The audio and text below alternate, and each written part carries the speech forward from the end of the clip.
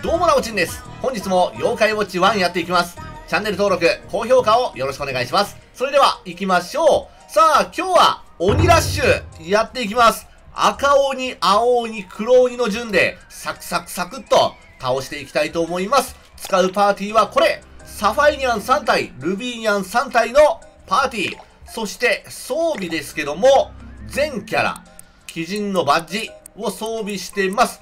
とことん攻め立てていきますよ。行ってみましょうまずは赤鬼、さっといっちゃいましょう。実際のところね、これ青よりも赤の方がね、厄介かなと思うんだよな。うん。この、このパーティーではね、まあ、ほとんどのパーティーでそう、いやいや、そうとも言い切れないな。うん。どうしてもね、あの、水耐性をつけていくと、あれ弱いんだよね、青鬼って。なんで、うん、そう大したことないんだよね。うん、赤鬼はね、物理攻撃で来るから、確実に100ぐらいダメージを受けるんで、おこっちの方が厄介だな。ああ、余裕。あ、もうこんな減らしてんの？めちゃくちゃ余裕じゃん。早いね。これ1分以内ぐらいで倒せるやつだな。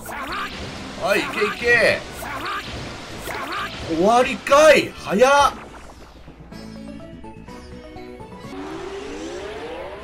青に行きましょう。青鬼は、えー、っと、水の攻撃をしてくるんだけども、水の耐性を持っているわけじゃないので大丈夫です。どんどん行け余裕いやいや、通常攻撃じゃなくて、妖術でどんどん攻めていこういいね。いい攻撃回数だ。さらに取り付いていけば、もっと、もっともっと攻めていける。お、アイテムゲット。あ、やばいか。よし。青鬼はどうなんだろう一緒か？あ、一緒だね。オッケーオッケー。ちゃんと受けのやつもね、作っていかないといけませんね。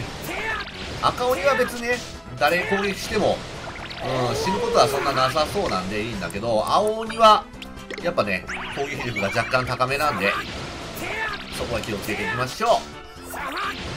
はい、どんどんいってー。オッケー。まずは取り付けをね、バーッとやっていってほしいところだね。取り付けをやって、攻撃をすると、だいぶダメージも違うし、攻撃回数もぐんと上がるんで、まずは取り付きしてほしいんだけども、ちょっと難しいか。うん、でもまあそんなこと関係なしに、攻撃回数で全然上回ってるんで、余裕です。ほぼほぼ回復もいらないね。いらないいらない。はい、おしまい。ラスト、黒鬼行ってみましょう。黒鬼とはね、いい戦いするんだよな。素早さがね、ちょうどいい感じなのよ。うん。まあまあ、あ、これ危ないかも。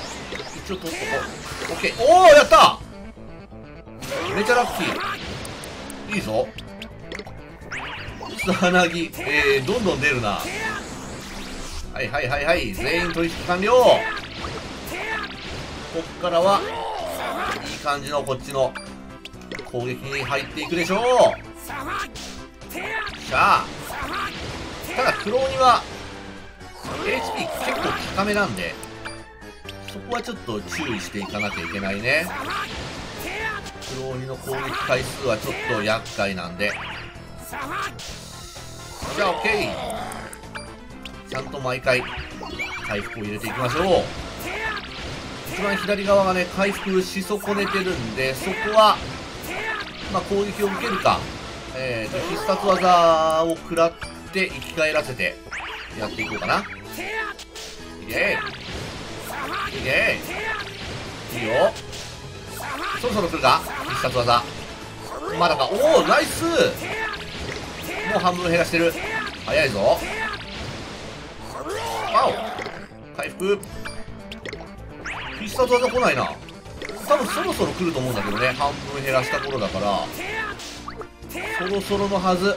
まだかーい。すごい。俺たちの攻撃回数が多くてまだゲージが溜まってないのかもしれないね。おお避けた。すげえ。素早さ優秀。いいね。で取り付いて取り付いて。ああこっちに攻撃来るね。はいはいはいはい。